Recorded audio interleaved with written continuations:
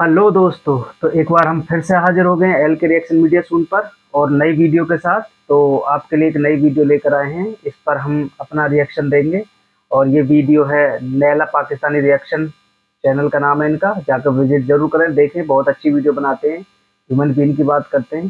तो बिना देरी किए हुए चलते हैं वीडियो की तरफ़। तो लेट्स प्ले और 20 अरब रुपए खर्च करने के बावजूद अगर हमें ये सब कुछ देखने मिलना था तो उससे बेहतर था कि ये पाकिस्तान का कर्ज उतार देते। सर मुल्क के अंदर चोरियाँ हो रही हैं। आइन कहाँ सोया हुआ है? आइन तो है ही नहीं इस मुल्क में। आइन कौन सा यहाँ पे? कुछ भी नहीं यहाँ पे। आप इस बात से एग्री करते हैं कि मार्शल लॉ आ जाएगा? अवाम तो बड़ा हंस रही है। नहीं नहीं कहाँ मार्शल लॉ आना है? ये तो मज़ाक है। देखने तो मज़ाक लग रहा है लेकिन मार्शल आ गया तो बहुत बड़ा लॉस है हमें इस चीज़ का। अगर वजी आदमी बनाते हैं तो कोई ऐसा निज़ाम बनाना चाहिए जो पाकिस्तान के हक में बेहतर हो। लेकिन हमें नहीं लग रहा ऐसा कुछ होगा। लग नहीं रहा। नहीं लग रहा ना उम्मीदी है ना उम्मीदी नहीं होना ऐसा। सर देखिए आठ फरवरी थी का इलेक्शन हो जाएगा मुल्क के अंदर स्टेबिलिटी आ जाएगी। हम अक्सर बात करते हैं इंडिया की। उनके जब गवर्नमेंट दो साल बार बार बीजेपी की गवर्नमेंट आई तो उन, उन्होंने इंडिया को फिर लार्जेस्ट इकोनॉमी बना दिया। अब तीसरी इलेक्शन की बात करें वो कह रहे हैं अब हम दुनिया की टॉप थ्री इकोनॉमीज़ में से होंगी। लोगों के मुल्क के अंदर इलेक्शन होते हैं उनके टारगेट अचीव होते हैं कि नेक्स्ट स्टेप हमारा ये है। तो हमारा और उनका कितना फ़र्क देखते हैं आप? देखें जहाँ तक इकोनॉमीज़ की बात है उन लोगों के पास स्टार्ट से ही मतलब अच्छा सेटअप था। इंडिया के पास exactly. सेटअप अच्छा था। हाँ अच्छा। वो जो एक टर्म है ना उनकी देशभक्ति की देशभक्ति जी। वो लोग बहुत पैट्रियट हैं हमसे ज़्यादा। हम लोग सेल्फिश सेल्फिश लोग हैं। हम अच्छा। हम एक कौम अपने आप को कभी मनवा ही नहीं सके हाँ। ग्लोबली सर मुझे बहुत से लोग रोड शो पे कहते हैं हम जो हम हजूम हैं। हम कौम नहीं हैं। Exactly exactly. क्यों? कि हर बंदे को अपनी अपनी पड़ी हुई है। हम सबको अपने बैंक अकाउंट्स भरने हर बंदे का यहाँ प्रायोरिटी क्या है? क्योंकि आपके पास जैसे अमेरिका में आप देखती हैं कि जिस बंदे का भी सोशल सिक्योरिटी बना है उसको गवर्नमेंट एड करती है फंड करती है। बच्चों की एजुकेशन हेल्थ इंश्योरेंस घर बाकी सारे मैटर्स को डील करती है। पाकिस्तान में ऐसा तो कुछ भी नहीं है। हम्म। पाकिस्तान में मेरा ख्याल है तो पैदा होने ही जुर्म है। पाकिस्तान में पैदा होना जुर्म है तो सर जो 25 करोड़ आवाम ने जुर्म कर लिया जुर्म की सजा भी बता दें। तो ये भुगतते रहेंगे आप और ये मकबूल जान के जो वीडियोस देखें उसमें वो ये इसी तरफ़ इशारा करते हैं कि हम लोगों को हमारे कर्मों का फल मिल रहा है। हम है ये। Exactly this is karma return. Yes this is karma और उसकी वजह यह है बदयानत है हम। नाइंसाफ़ी करते हैं। हमारे माशरे में इंसाफ नहीं है ठीक है? इज़्ज़त नहीं है औरत की इज़्ज़त नहीं करते कहने को ताकतवर का कानून होगा। वो जैसा कहेगा वैसे उसको मोल्ड कर लिया जाएगा। जंगल का कानून सीधी तरह बात करें exactly. ना शेर जंगल के कानून में बादशाह कहलाता है। Exactly exactly. हाँ। आपने ये पीछे जो इवेंट्स हुए इसमें देखा ही है पुलिस ने किस तरह से अवाम को ट्रीट किया। पुलिस कौन है? हम लोगों में से तो है। सही बात है। वो भी आम लोग ही हैं। वो कोई अमीर कबीर कोई घरानों से तो नहीं है। वो भी मिडिल क्लास है सारे। तो वो हम पे जुल्म करते हैं। किन के कहने पे? जो अमीर तबका है। तो गरीब आदमी ने यहाँ पिसना ही है। वो जब तक के गजवा हिंदी हो जाता इनकलाब आप लोगों की जानब से नहीं आना। वो कोई और ही शक्लें होती हैं जिन्होंने इनकलाब लाना हो। मतलब यहाँ पे कोई शक्ल ही नहीं है जो इनकलाब लेके आएगी। Exactly exactly. पक्की बात है। बिल्कुल। यहाँ तो आपको रोटी के लाले पड़े हुए हैं ना। गजवा हिंद की क्या स्टोरी है? गजवा हिंद होगा हिंद पे हमला करेंगे। हिंद दुनिया के फिफ्थ लार्जेस्ट इकोनॉमी बन गई। हिंद के प्राइम मिनिस्टर को सारी इस्लामिक कंट्री ने बड़े बड़े मेडल पहना दिए जो है अवार्ड दे दिए ऑनर के और जो है अब उनकी डीले इस्लामिक कंट्रीज़ के साथ मज़बूत होगी। और यहाँ का कुछ तबका अभी भी गजवा हिंद के ख्वाब देखता है कि जब गजवा हिंद हो जाएगा पाकिस्तान ऑटोमेटिकली क्राइसिस से बाहर आ जाएगा। देखें उसको तो आप तब रिप्रेजेंट करेंगे जब आपके बेसिक्स ठीक होंगे आपकी मॉरल वैल्यूज़ होंगी कोई। सही बात है। आप तो इस वक्त मेरा ख्याल है थर्ड क्लास नेशन बने बैठे।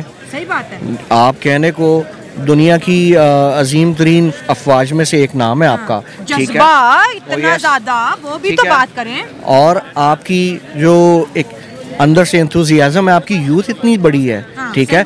इट्स अ लार्जेस्ट नंबर तो आप लोग अभी अपनी मॉरल वैल्यूज़ को ठीक नहीं कर सके तो आप ग्लोबली यानी ग्लोबल प्लेटफॉर्म पे कैसे रिप्रेजेंट करेंगे कि आप मुस्लिम उम्मा को करते हैं? जी यहाँ पर मार्शल लॉ की बातें हो रही हैं मुल्क में। ये मार्शल लॉ का ही सारा बना हुआ है जो भी है यहाँ पे कोई जमहूरियत नहीं कोई कुछ नहीं है।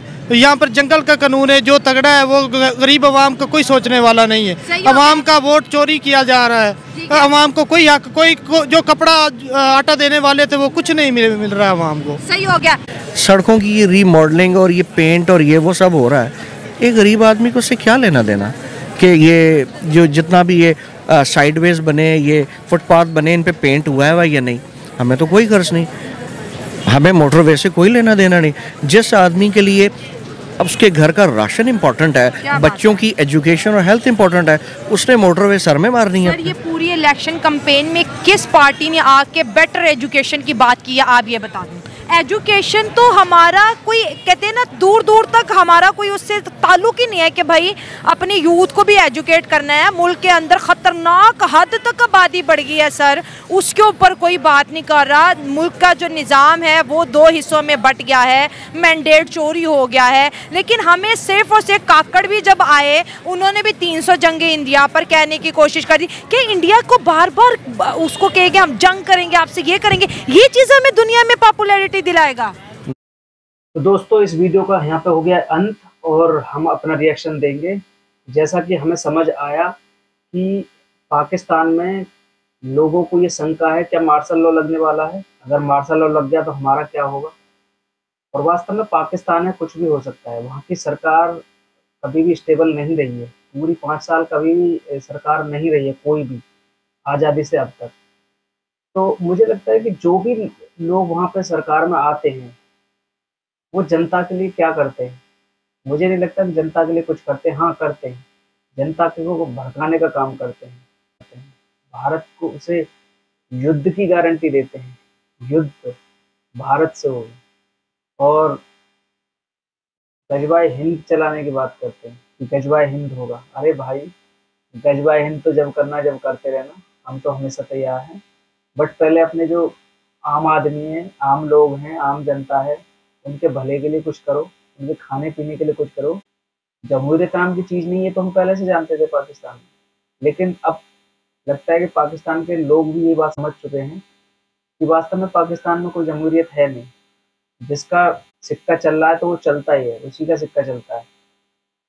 आम जनता अपने समस्या समस्या बता भी नहीं सकते। अगर समस्या आप उजागर करोगे तो आपको दबा दिया जाएगा। ये पाकिस्तान के हाल है। पाकिस्तान में कानून नाम की कोई चीज़ है नहीं। जनरल वहाँ की सरकारें तय करते हैं और अब ये मार्शल लॉ का अंडा पड़ गया है कि क्या मार्शल लॉ लगने वाला है। अगर मार्शल लॉ लग जाएगा तो क्या होगा? जैसा कि भाई बोल रहे थे कि ये हमारा कर्म है जो हमें भुगतना पड़ रहा है। वास्तव में कर्म तो है, लेकिन भुगतना आम आदमी, आम जनता को पड़ रहा है, ये नहीं सोचा भुगतेगा, क्योंकि जब जो जैसा करेगा, वैसा भरेगा। ये बात तो सौ प्रतिशत सत्य है। कहते ना, बोए बीज भूल का तो आम कहाँ से हो तो वो वाला हिसाब है, पाकिस्तान के लिए, ये बिल्कुल परफेक्ट बैठता है। अगर रही बात आम जनता की तो जनता को समझ आ आने लगा है कि लड़ाई झगड़े से कोई हल निकलने वाला नहीं है। जब तक भारत सपोर्ट नहीं करेगा, जब तक हिंदुस्तान सपोर्ट नहीं करेगा, जब तक हमारा कुछ भला होने वाला है नहीं, ये भी वो जानते हैं, मगर डरते हैं, कहें किससे? नहीं कह सकते, क्योंकि सरकार है, दबा देगी, जेल में डाल देगी, ये डर है।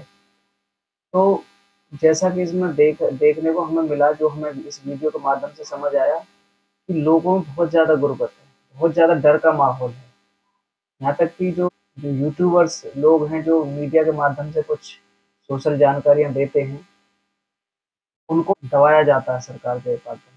तो ये नहीं होना चाहिए, जो है, अगर आपको काम रियलिटी पे करना होगा रियलिटी काम करोगे रियल काम करोगे, जनता के लिए काम करोगे तो आप आगे बढ़ोगे, आप आओगे। लेकिन क्योंकि सरकार वहाँ की सिर्फ़ आती इस बेस में कि हिंदुस्तान से हम कश्मीर छीनेंगे, कश्मीर लेंगे, जैसे कश्मीर को आज़ाद कराएँगे तो भाई फिर ये तो जनता को भी सोचना होगा ना कि आप आप जो अपनी ज़रूरत के लिए वोट देते हैं या फिर गजवा हिंद के लिए वोट देते हैं, अब तय आपको करना है। आपको खाने की किल्लत है, रोज़गार चल नहीं रहा है, गुर्बत की ज़िंदगी जीने पड़ रही है, मजबूरी है तो ये चीज़ें आपको खुद तय करनी है कि आपको क्या चाहिए। सरकार से जो चाहिए, वो आपको डटकर, स्ट्राइक करके लेनी पड़ेगी। आप अपने राइट के लिए खड़े हो। तो सरकारें भी झुकेंगी और ज़रूर झुकेंगी तो दोस्तों, अगर वीडियो आपको पसंद आई हो तो वीडियो को लाइक करें, शेयर करें और कमेंट करें और एल के रिएक्शन मीडिया सुन को सब्सक्राइब ज़रूर करें, बेल आइकन ज़रूर बजाएँ ताकि नोटिफिकेशन सबसे पहले आपके पास आए। और अगर ये फुल वीडियो देखना चाहते हैं तो लैला पाकिस्तानी रिएक्शन पर आप विज़िट ज़रूर करें। तो इसके साथ ही हम लेते हैं अलविदा। जय हिंद, जय भारत।